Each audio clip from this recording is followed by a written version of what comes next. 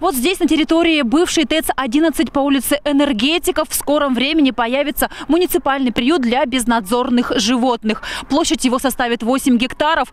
Приют будет находиться по соседству с частным, деньги на который сегодня э, жертвуют горожане. Деньги на содержание муниципального приюта будет выделять город.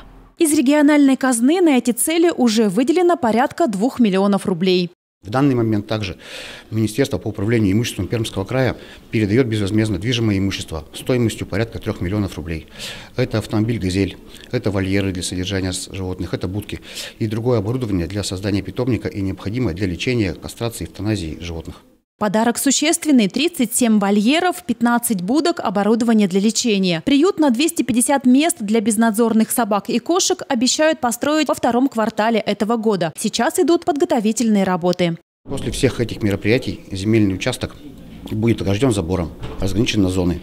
Это зона выгула, зона кормления, зона лечения и зона содержания.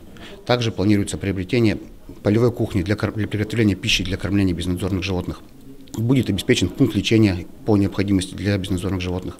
Будет устроено наружное освещение по периметру питомника. Для присмотра за животными наберут команду специалистов. Отловленные кошки и собаки будут жить в приюте постоянно, а не выпускаться через пару месяцев обратно на улицу, как это было раньше. Тему безнадзорных животных недавно обсуждали и местные депутаты. Их волновало, как обстоит работа с отловом бродячих собак сейчас, поскольку договора на отлов у администрации нет ни с одной организацией. Мы не пускаем сейчас на самотек. Я говорю, мы принимаем заявки и выезжаем там, где действительно ситуация критическая. Мы мониторим все ситуации. Нам поступает заявка, мы выезжаем сами на эту заявку. Совместно с волонтерами. Если действительно ситуация критическая, мы производим отлов собак.